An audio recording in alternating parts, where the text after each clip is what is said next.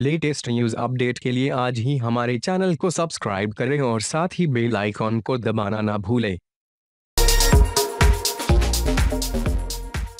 Hello friends आप सभी का स्वागत है हमारे यूट्यूब चैनल बीबी न्यूज़ में। India versus West Indies T twenty series का दूसरा मुकाबला लखनऊ के इस मैदान में 24 साल बाद खेला जाएगा। आइए जानते हैं इस ग्राउंड के बारे में कुछ खास बातें और ये मैच कब शुरू होगा और कौन कौन से प्लेयर आज खेलने वाले हैं। टीम इंडिया ने world T twenty champion West Indies को पहले मैच में पाँच विकेट से मात दी। अब रोहित शर्मा के नेतृत्व में टीम इंडिया मंगलवार को लखनऊ में खेले जाने वाले दूसरे टी ट्वेंटी अंतर्राष्ट्रीय मैच में भी इसी लय को जारी रखने के इरादे से मैदान में उतरेंगे। वहीं वेस्ट इंडीज से भी जोरदार वापसी की उम्मीद है। बता दें कि टीम इंडिया और वेस्ट इंडीज के बीच तीन मैचों की सीरीज़ का दूसरा टी मंगलवार, यानी कि आज लखनऊ के भारत रत्न श्री अटल बिहारी वाजपेयी अंतर्राष्ट्रीय क्रिकेट स्टेडियम में खेला जाएगा। टीम इंडिया ने वेस्ट इंडीज को टेस्ट सीरीज़ में पहले दो ज़ीरो ऐसी मात दी। इसके बाद वनडे सीरीज़ में मैन इन ब्लू ने तीन एक ऐसी अपने नाम की। वही कोलकाता के ईडन गार्डन आरोप रविवार को खेले गए मुकाबले में world T twenty champion West Indies की टीम आठ विकेट खोकर एक सौ रन ही बना सकी। मेहमान टीम के गेंदबाजों ने अच्छा प्रयास किया और टीम इंडिया के चार विकेट केवल चौवन रन पर गिरा दिए थे। मगर दिनेश कार्तिक और डेब्यू करने वाले कुणाल पांड्या ने टीम इंडिया की जीत पर मुहर लगाई। जीत से पहले टीम इंडिया ने आखिरी बार वेस्ट इंडीज को 23 मार्च 2014 को मात दी थी। तब बांग्लादेश में वर्ल्ड टी खेला जा रहा था। टीम इंडिया की यह जीत नियमित कप्तान विराट कोहली की गैर मौजूदगी में हुई थी। टीम इंडिया और वेस्ट इंडीज के बीच तीन मैचों की सीरीज़ का दूसरा टी अंतर्राष्ट्रीय मैच मंगलवार को लखनऊ के भारत रत्न श्री अटल बिहारी वाजपेयी अंतर्राष्ट्रीय स्टेडियम में खेला जाएगा। आपको बता दें कि आज से पहले इस स्टेडियम का नाम इकाना स्टेडियम था, जो मैच से ठीक एक दिन पहले बदल दिया गया है। यह मैच आप Star Sports one